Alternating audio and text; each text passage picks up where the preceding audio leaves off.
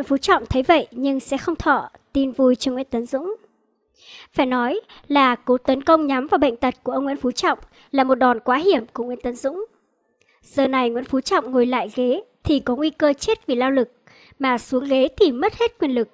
Lúc đó ông ta không thể chống đỡ nổi các đường hướng tấn công của Nguyễn Tấn Dũng. Không có chuyện Nguyễn Phú Trọng không thèm quan tâm những gì mà thiên hạ đang nghĩ ngợi và bàn tán về sức khỏe của ông ta. Mà ông ta nghĩ rất nhiều. Dân chửi ông ta tham quyền cố vị và bản thân ông thì rất cực nhọc và tổn hao tuổi thọ khi ngồi lại chiếc ghế đầy áp lực trong khi tình hình sức khỏe lại không cho phép. Thật ra, người ta nói rằng đằng sau đòn tấn công của Nguyễn Tấn Dũng có cao nhân chỉ dạy. Nhìn thấy yếu điểm ở bệnh tật của ông Trọng và đánh vào yếu điểm đó là một đòn hiểm, dồn Nguyễn Phú Trọng vào cửa tử mà không bị tai tiếng gì. Ngay cuộc tiếp xúc cử tri vào ngày 15 tháng 10 của Nguyễn Phú Trọng cho thấy ông ta đã có một cố gắng nhỏ khi tự đứng và bắt tay những người xung quanh. Hiện tượng tương tự trước đây khi Trọng bất ngờ hiện ra để chủ trì họp Bộ Chính trị, khi gặp gỡ một số quan chức trong nước và ngoại quốc. Ứng với mỗi lần mạng xã hội ồn ào về tình hình sức khỏe của ông ta rất xấu hay sắp phải từ giã chính trường. Tuy nhiên, cái cách nói ông ta sẽ cố gắng giữ gìn sức khỏe. Năm nay 75 tuổi rồi, cũng đang là bệnh nhân của Trọng, lại như thể ông ta, sau một thời gian tranh đấu rằng co với căn bệnh trời sáng, đã bắt đầu phải chấp nhận tình cảnh chung sống với bệnh tật với thái độ xuôi xị. Cách nói xuôi xị và có vẻ chấp nhận số phận trên lại có thể là một thông điệp bằng chứng gián tiếp về khả năng Nguyễn Phú Trọng đi Mỹ gần như là không còn nữa. Nếu không thể đi Mỹ với tư cách là nguyên thủ quốc gia và lôi về thêm một quan hệ đối tác chiến lược nữa, Nguyễn Phú Trọng sẽ mất đi một thành quả lớn nhằm khuếch trương thành tích của ông ta để dọn đường cho Trọng bước vào nhiệm kỳ Tổng Bí thư kiêm chủ tịch nước hoặc ít nhất cũng là chủ tịch nước tại đại hội 13. Điều tương tự theo cách mà ông ta đã khá thành công trong việc đánh quả hiệp định TPP sau chuyến đi Mỹ vào tháng 7 năm 2015, để nửa sau năm đó tái đắc cử Tổng Bí Thư, sau khi đã loại trọn vẹn đối trọng Nguyễn Tấn Dũng. Đến lúc này, rõ ràng vấn đề sức khỏe và mức độ cải thiện bệnh tật của Nguyễn Phú Trọng không chỉ quyết định việc ông ta có đi Mỹ được hay không, mà còn quan trọng hơn cả với Trọng là chuyện ông ta có được phép ngồi tiếp hay không ở Đại hội 13. Sự kiện chỉ còn hơn một năm nữa sẽ diễn ra. Cần nhắc lại quy định 205 về kiểm soát quyền lực mà Nguyễn Phú Trọng đã ký ban hành vào tháng 9 năm 2019, rất có thể là biểu hiện đầu tiên tính từ lúc ông ta bị bạo bệnh vào tháng 4 năm 2019, cho thấy Trọng vẫn không muốn buông rời quyền lực tối cao của mình và vẫn muốn kéo dài quyền lực đó được năm nào hay năm đấy. Bà Dũng muốn kết thúc đời Tổng Trọng. Hiện nay sức khỏe của ông Nguyễn Phú Trọng rất bệ rạc. Tại Kiên Giang, gia đình Nguyễn Tấn Dũng đã họp bàn về kế sách đối phó. Đây là cơ hội ngàn năm có một, không cần hạ độc thủ ông Trọng. Và có muốn hạ độc thì bây giờ cũng rất khó vì ông Trọng đã cắt cử bà Nguyễn Thị Kim Tiến lo phần sức khỏe cho mình. Vậy thì làm sao để kết thúc sinh mệnh của Nguyễn Phú Trọng ngay trước đại hội 13? Đây là câu hỏi mà gia tộc Nguyễn Tấn Dũng đã đặt ra trong suốt 6 tháng nay và câu trả lời đã dần hé mở. Đó là cần phải dùng thật nhiều tiền, hối lộ các ủy viên Bộ Chính trị để hàng ngày họ tạo áp lực liên tục lên Nguyễn Phú Trọng thông qua công việc khổng lồ mà ông Trọng cần phải giải quyết. Nếu duy trì như vậy, có thể trong năm nay hoặc đầu năm 2020, Nguyễn Phú Trọng sẽ đứt bóng vì lao lực. Nhưng câu hỏi là tại sao Nguyễn Phú Trọng bệnh rất nặng mà vẫn không về vườn cho khỏe? Câu trả lời là nếu Nguyễn Phú Trọng từ quan về vườn thì ông ta cũng không thể nào thoát khỏi trò rình mò hạ độc thủ từ phía Nguyễn Tấn Dũng. Qua hơn 10 năm đấu đá với Nguyễn Tấn Dũng, ông Nguyễn Phú Trọng hiểu rất rõ những nguy hiểm mà Nguyễn Tấn Dũng răng ra với mình. Nguyễn Tấn Dũng lần này rất quyết tâm. Ông phải đưa bằng được con trai cả vào Bộ Chính trị ngay trong đại hội 13 này. Mà với Nguyễn Thanh Nghị, nếu cha cậu không dẹp tảng đá Nguyễn Phú Trọng, thì xem như cơ hội vào Bộ Chính trị tại đại hội 13 sẽ khép lại. Mà Nguyễn Tấn Dũng vốn là con người say máu quyền tiền. Chính nhờ đỉnh cao quyền lực mà ông ta đã hút được rất nhiều tiền của của dân để làm giàu. Nếu không đầu tư cho Nguyễn Thanh Nghị để vào Bộ Chính trị hốt tiếp, thì về sau thế lực Nguyễn Tấn Dũng sẽ suy yếu, cả về quyền lẫn tiền. Nguyễn Tấn Dũng sẽ không cam lòng ngồi im. Cuộc chiến Nguyễn Phú Trọng, Nguyễn Tấn Dũng là cuộc chiến ngang tài ngang sức. Nguyễn Phú Trọng từng thua rồi thắng, và hiện giờ sức khỏe suy yếu, sức lực không cho phép Nguyễn Phú Trọng làm việc ở cường độ cao nữa. Đây là cơ hội ngàn năm có một cho Nguyễn Tấn Dũng.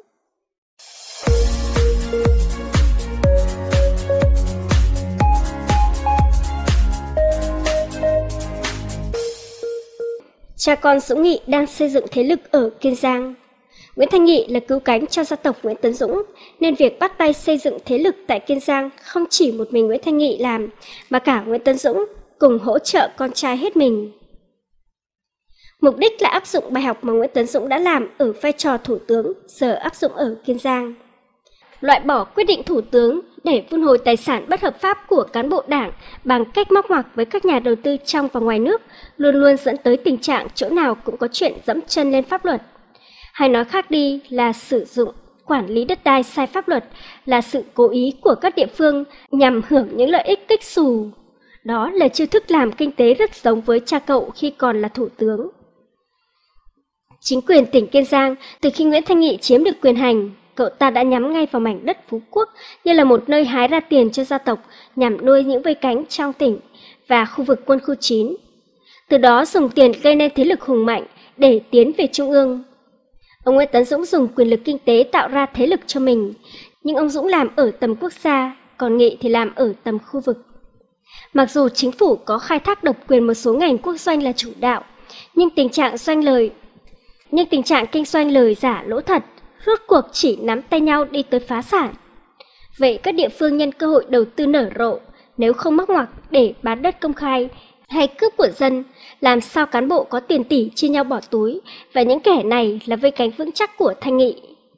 Chỉ cần ông Trọng hết nhiệm kỳ, cơ hội cho Nghị là rất cao. Dự án phát triển phú quốc của Kiên Giang Dĩ nhiên cũng có những mánh mông mờ ám mà lãnh đạo nào đã tốt nghiệp trong nghề tham ô của trường đảng cao cấp không thể nào không biết được. Nghĩa là vấn đề đất đai của Phú Quốc sẽ không khác Đà Nẵng bao nhiêu và số phận Nguyễn Thanh Nghị cũng sẽ không khác Nguyễn Xuân Anh. Không phải bây giờ, mà từ năm 2017, Phú Quốc đã xuất hiện sự vi phạm pháp luật trong vụ xây dựng khách sạn 5 sao. Trong vụ xây dựng khách sạn 5 sao hương biển, vượt tầng và lấn chiếm hành lang biển được giải quyết một cách xuê xoa. Chủ nhân của hương biển được cho là người trong gia đình Nguyễn Tấn Dũng và không loại trừ nguồn vốn rút ra từ ngân sách nhà nước và tiền kiếm được do tham ô.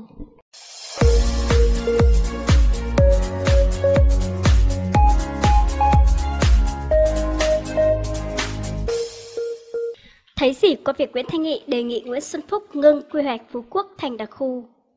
Vào tháng 8 năm 2018, mặc dù luật đặc khu chưa được Quốc hội thông qua, nhưng Thủ tướng Nguyễn Xuân Phúc đã bật đèn xanh cho Kiên Giang lập quy hoạch tổng thể để phát triển Phú Quốc theo định hướng trở thành đặc khu kinh tế. Nhưng vào tháng 8 năm nay, Nguyễn Thanh Nghị, con của cựu Thủ tướng Nguyễn Tấn Dũng hiện là bí thư tỉnh ủy, đã gửi văn bản chính thức đề nghị Thủ tướng xem xét, chấp thuận cho tỉnh tạm dừng việc phát triển Phú Quốc thành đặc khu kinh tế cho tới khi luật đặc khu được Quốc hội thông qua. Sự việc này cho thấy, một, Nguyễn Thanh Nghị và các đại gia đang muốn đầu tư vào các dự án lớn và bất động sản, không thể ngồi yên chôn vốn và chờ đến khi Quốc hội thông qua sự luật đặc khu mở cửa cho tàu vào thuê mướn đến 99 năm. Hai, đây là một hành vi chống đối trong nội bộ đảng đối với kế hoạch một vành đai một con đường mà ba đặc khu Vân Đồn, Bắc Vân Phong, Phú Quốc là mắt xích quan trọng. Thực hiện cho bằng được kế hoạch này đã được các quan chức cao nhất của Bắc Kinh lập đi lập lại với Nguyễn Thị Kim Ngân trong chuyến khấu đầu của bà ta tại Bắc Kinh vừa qua. Phản ứng của Kiên Giang cũng đã xảy ra trong lúc tàu cộng xâm phạm chủ quyền của Việt Nam tại bãi tư chính. 3. Trong khi chờ đợi ý kiến của Thủ tướng, Nguyễn Thanh Nghị và các quan chức tại Kiên Giang cũng yêu cầu để tỉnh được sử dụng ngân sách địa phương và tự đưa ra quy hoạch tổng thể phát triển Phú Quốc theo hướng trở thành khu kinh tế Phú Quốc chứ không theo hướng đặc khu. 4. Điều này cho thấy khuynh hướng tách rời và tự trị về mặt phát triển kinh tế và làm giàu của phe cánh Nguyễn Tấn Dũng tại Kiên Giang. Khuynh hướng này được sự hỗ trợ bởi các đại gia, giới đầu cơ bất động sản đang bị bó tay vì không thể làm ăn khi luật đặc khu chưa được thông qua và những quy hoạch theo hướng luật đặc khu vì thế đã phải tạm ngừng, đông lạnh. Với sự hèn nhát của phe thế lực thờ địch mà đứng đầu là Nguyễn Phú Trọng trong vụ tư chính là mất niềm tin trong nội bộ đảng viên phe thế lực thờ tiền trong đảng đang tìm cách phản công. Thắng lợi của Nguyễn Thanh Nghị tại Phú Quốc Bí thư tỉnh ủy Kiên Giang Nguyễn Thanh Nghị, con trai của cựu thủ tướng Nguyễn Tấn Dũng đã thành công trong việc yêu cầu ngưng phát triển Phú Quốc thành đặc khu kinh tế. Bộ Xây dựng đã có văn bản đồng ý với Kiên Giang tạm dừng quy hoạch đặc khu với lý do lập quy hoạch hiện chưa đủ căn cứ và không phù hợp với pháp luật. Yếu tố không phù hợp với pháp luật ở đây được hiểu là các quan chức trung ương đã áp đặt và tiến hành việc phát triển Phú Quốc thành đặc khu, trong khi dự luật đặc khu chưa được thông qua. Tuy nhiên, qua đề nghị của Bộ Xây dựng, người ta có thể thấy chủ trương lớn của Bộ Chính trị về đặc khu kinh tế. Vẫn là chủ trương và vẫn phải chuẩn bị để tiến hành trong tương lai. Đề nghị Ủy ban Nhân dân tỉnh Kiên Giang tổ chức lập mới quy hoạch chung xây dựng đảo Phú Quốc theo ý kiến đồng ý về chủ trương của Thủ tướng Chính phủ tại văn bản số 739 TTG-CN theo quy định hướng đơn vị hành chính kinh tế đặc biệt. Trước đây vài ngày, Viện dẫn lý do Kiên Giang Phú Quốc dù đã thực hiện một số thủ tục lập quy hoạch nhưng gặp nhiều khó khăn vướng mắc về cơ sở pháp lý vì dự luật đặc khu chưa được thông qua. Vì vậy, Nguyễn Thanh Nghị đã gửi văn bản chính thức đề nghị Thủ tướng xem xét chấp thuận cho tỉnh tạm dừng việc phát triển Phú Quốc thành đặc khu kinh tế. Phú Quốc là một trong ba đặc khu được chọn làm nơi xây dựng đặc khu kinh tế. Bộ Chính trị Cộng sản Việt Nam muốn biến chủ trương này thành luật để có cơ sở pháp lý vững chắc cho âm mưu giao ba địa bàn chiến lược này cho Bắc Kinh dưới danh nghĩa cho thuê 99 năm. Mặc dù chưa công bố văn bản chính thức về dự luật, nhưng vào cuối năm 2019, khi thông tin nội bộ cho biết Phú Quốc là một trong ba đặc khu kinh tế, thì thị trường bất động sản tại đảo này đã đụng trần. Phú Quốc trở thành cơ hội làm giàu cho các quan tham, đại gia qua việc đầu cơ tích trữ đất mua với giá rẻ ban đầu. Chỉ trong vài tháng, giá đất tăng gấp 10 lần và tài sản của các quan tham và đại gia đỏ tăng theo. Việc người dân khắp nơi xuống đường phản đối dự luật đặc khu, buộc Quốc hội phải tạm hoãn thông qua dự luật đã là một thất bại lớn cho Bộ Chính trị. Đối với Kiên Giang Phú Quốc, việc tạm hoãn dẫn đến tình trạng trôn vốn vào đất đã đầu tư và cơ hội làm giàu bị khựng lại. Đó là lý do Kiên Giang Phú Quốc muốn thoát ra khỏi vòng kim cô đặc khu của tập đoàn Ba Đình Bắc Kinh. Để quan chức địa phương có thể bắt tay vào các dự án khủng làm giàu nhanh chóng và lấy lại thực lực của phe cánh Nguyễn Tấn Dũng. Kiên Giang đề nghị tạm dừng quy hoạch đảo Phú Quốc thành đặc khu kinh tế. Chủ tịch tỉnh Kiên Giang vừa đề nghị Thủ tướng cho tạm dừng việc lập quy hoạch tổng thể phát triển kinh tế xã hội đảo Phú Quốc thành đặc khu kinh tế cho tới khi luật đơn vị hành chính kinh tế đặc biệt được Quốc hội thông qua. Đồng thời, Ủy ban Nhân dân tỉnh Kiên Giang cũng đề xuất Thủ tướng cho phép tỉnh được sử dụng ngân sách địa phương lập mới quy hoạch tổng thể phát triển kinh tế xã hội đảo Phú Quốc theo hướng trở thành khu kinh tế Phú Quốc. Trước đó, tháng 8 năm 2018, Thủ tướng đã đồng ý chủ trương cho phép tỉnh Kiên Giang lập quy hoạch tổng thể phát triển kinh tế xã hội đảo Phú Quốc theo định hướng trở thành đặc khu kinh tế. Tỉnh Kiên Giang đã thực hiện một số thủ tục lập quy hoạch, Tuy nhiên đến nay, dự thảo luật đơn vị hành chính kinh tế đặc biệt vẫn chưa được Quốc hội dự kiến thời gian thông qua, nên việc lập quy hoạch đảo Phú Quốc trở thành đặc khu kinh tế gặp nhiều khó khăn vướng mắc khi chưa xác định cơ sở pháp lý, trình tự thủ tục, nội dung quy hoạch và lập hội đồng thẩm định. Tỉnh Kiên Giang cũng cho biết đề án phát triển tổng thể đảo Phú Quốc đến năm 2010 và tầm nhìn đến năm 2020 được Thủ tướng phê duyệt từ năm 2004 đến nay đã không còn phù hợp với thực tế phát triển huyện đảo Phú Quốc. Hơn nữa, theo luật quy hoạch, việc xây dựng quy hoạch cấp huyện sẽ được tích hợp vào quy hoạch tỉnh, nhưng nhiều mục tiêu chỉ tiêu kinh tế xã hội của đảo Phú Quốc hiện đã vượt quy hoạch được duyệt. Vì vậy, nếu chờ quy hoạch tỉnh được lập theo luật quy hoạch, sẽ khó khăn cho Phú Quốc trong định hướng tiếp các mục tiêu, phương hướng phát triển, cản trở quá trình thu hút kêu gọi đầu tư vào đảo Phú Quốc.